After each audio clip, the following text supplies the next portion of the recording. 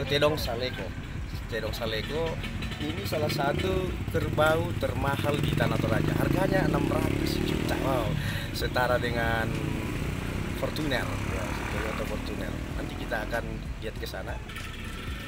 Bagaimana bentuk kerbau mahal ini? Kita akan eh, ulas nanti bersama dengan eh, pemiliknya. Di sana ada dua ekor dua ekor kerbau ya bu ya. Nah, itu kerbau mahal. Nah, gitu. Jadi nanti malah harganya nanti bisa mencapai 1 m kalau masih Iya, semakin tua disimpan semakin semakin tua semakin mahal harganya. Gitu teman-teman. Ya seperti apa kerbaunya kita akan lihat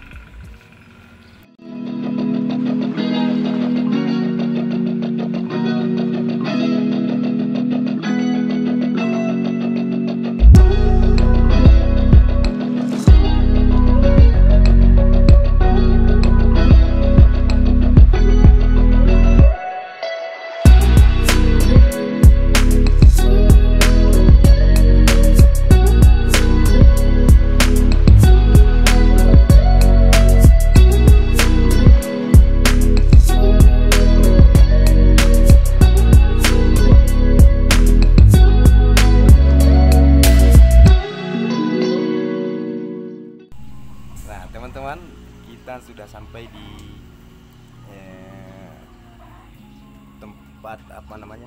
Ini is- Istana Kerbau. Ya, Istana Kerbau. Ah, tempatnya tidak seperti kandang biasa. Kandangnya elit, teman-teman. Nah, itu dia. Dia eh, kandangnya bermotif khas Toraja. Nah, ini lah kerbau Saleko yang harganya bisa setara dengan eh, 700-an.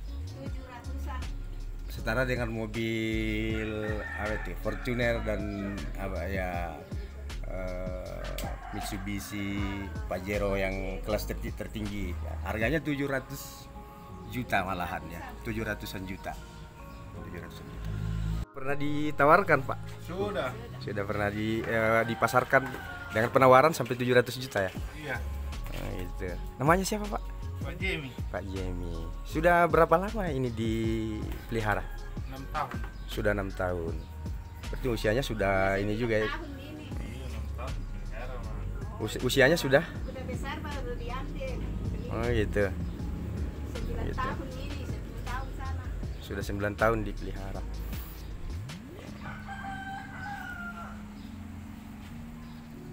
nah sampai hari ini penawaran sudah sampai gitu ya 700 700 juta ini sebenarnya apa ya motifnya apa yang membuat dia mahal selain mungkin karena dia eh, memang kerbau yang dikhaskan ya di Tanah Toraja Iya. Salah satunya misalnya kalau kerbau saleko dikawinkan dengan kerbau saleko betina belum tentu jadi kerbau saleko juga. ya Dia termasuk langka. langka ya karena langka itulah membuat Iya, dia yang mahal mahal. Dia mahal. iya gitu Kalau kerbau yang ini biasa dari matanya, ekornya, tandunya, dan simbol-simbol yang melengket di pada badannya. itu ya itu yang membuat dia ini. Ya, agak mahal. mahal. nah yang yang di sana Potong boko. lotong bokok lotong bokok namanya Iya. Nah, itu sudah penawaran berapa ya 400. 400 itu berarti lebih mahal yang ini ya Ini mahal saleko. lebih mahal Seleko hmm, Saleko. Kalau Toraja itu kira termahal saleko. ya Saleko yang termahal. Saleko kalau di sana belum bisa bi- yang yang sebelah sana belum bisa dikategorikan Saleko ya dia Belum. jenisnya memang sudah lotong boko itu. iya Jenis lotong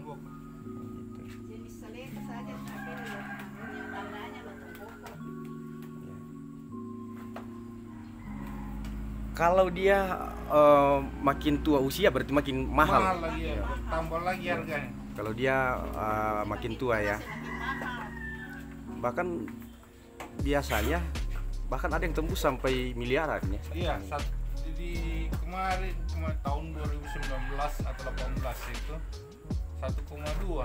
1,2 miliar Iya. Wah, Tapi memang bagus itu kerbau. setara mobil Alphard itu harganya ini bisa eh, harganya bisa lebih mahal lagi kalau dia eh, usianya makin tua Iya. dan di setiap pesta ya, biasanya apalagi kalau memang status sosialnya eh, keluarga-keluarga bangsawan ya Iya. itu setiap pesta orang mati itu membutuhkan eh, kerbau saleko Iya. itu untuk menunjukkan eh, status sosialnya ya Iya.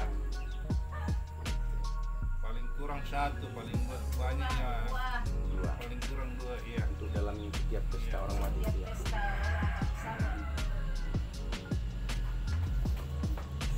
makanya berapapun nilainya mereka tetap akan beli ya, gitu. Iya. Memenuhi, supaya memenuhi syarat kanu Rambu Solo. ya gitu ya apa namanya di pasaran sudah berapa kali sempat dibawa ke pasaran atau cuma dipasarkan di sini saja Sini saja. di sini saja dipasarkan Iya. orang biasanya cari ke sini ya Iya. Ah. Kalau sudah dibilang di kesu pasti datang ke sini. ya Ya, memang memang dua ekor saja Dulunya tiga. Dulunya Dia tiga. putih sebu itu sabu batu dulu. Dulunya putih semua di sini yang hitam. Iya. Hitam. Putih semua. semua ya Matanya sudah laku sudah harga 250 250 juta.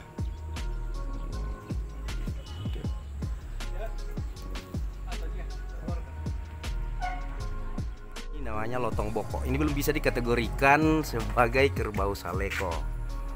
Ini dia nih. Dia harganya 250 juta.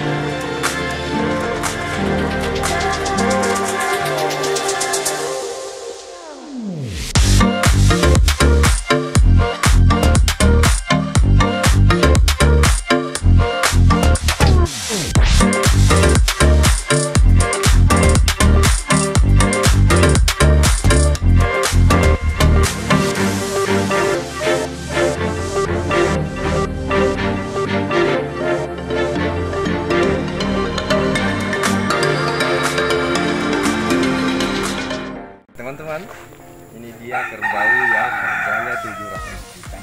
Jadi di Toraja itu Tedong Saleko atau kerbau belang ini merupakan sebagai simbol status sosial. Nah, kekayaan orang Toraja bisa juga disimbolkan melalui kerbau. Orang kaya di Toraja biasanya selalu eh, berusaha untuk memiliki kerbau seperti ini. Nah, sekian video dari saya. Eh, silakan di subscribe dan eh, jika anda menyukai video ini silakan di like dan di komen di eh, bawah video ini. Terima kasih. Assalamualaikum warahmatullahi wabarakatuh.